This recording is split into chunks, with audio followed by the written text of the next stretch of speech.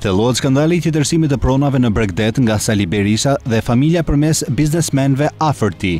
Ajo që pamfleti shkruajti ditë më parë për rrëmbimin e pronave në bregdet nga familja Berisha përmes djalit, vajzës dhe dhëndrit të tij, Tashmë po vërtetohen një e nga një, aq sa tjetërsimi i pronave nga kryebashkiaku i Lezhës Fran Frrokaj dhe Frrokaj të tjerë në të gjithë Shqipërinë do të dukeshin minore përballë abuzimit me tokat në bregdet të realizuara nga familja Berisha. Një qytetar nga bregu, ndjesë se po bëhemi si qytetari dixhital i Berishës, i shkruan pamfletit për fshatin turistik të familjes Berisha në Dhërmi.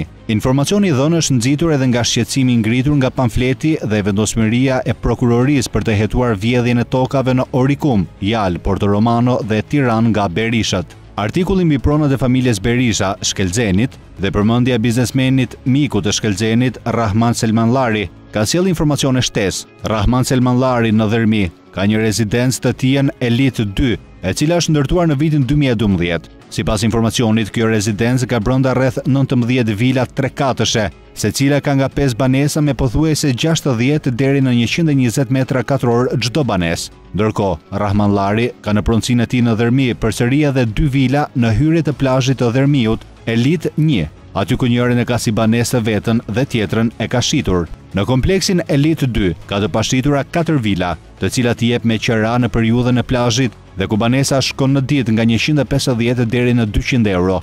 Aty vitin e kaluar bëri pushime një muaj familja e Adriatik Llallës. Ka gjithashtu edhe një restorant nga më të dëgjuarat këto vitet e fundit në Dhërmi, Piratët, të cilën e ka lançuar për ta dhënë me qera, por që deri më tani e ka menaxhuar vetë dhe në shërbim të familjes Berisha sa herë që shkojnë atje.